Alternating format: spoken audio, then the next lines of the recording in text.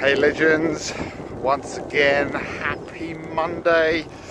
Yep, that's right, it's Monday, new start to a new week and also a new start to a new month, which means it's all to reset your goals and crack on again.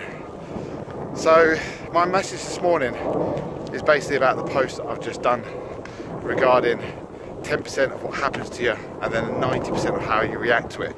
And that's pretty much how you go through life lots of things will always come up, happen to you, you know, and it's really down to how you react and how you deal with those situations.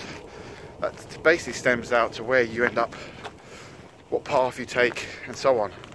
So when next time uh, something negative happens, before you jump off the bandwagon and go absolutely mental, count to five, take a deep breath, think about it, and then make the right decision. Remember, it's all about how you react to these situations. So breathe, count to five, and then make the right decision. Happy Monday, everyone.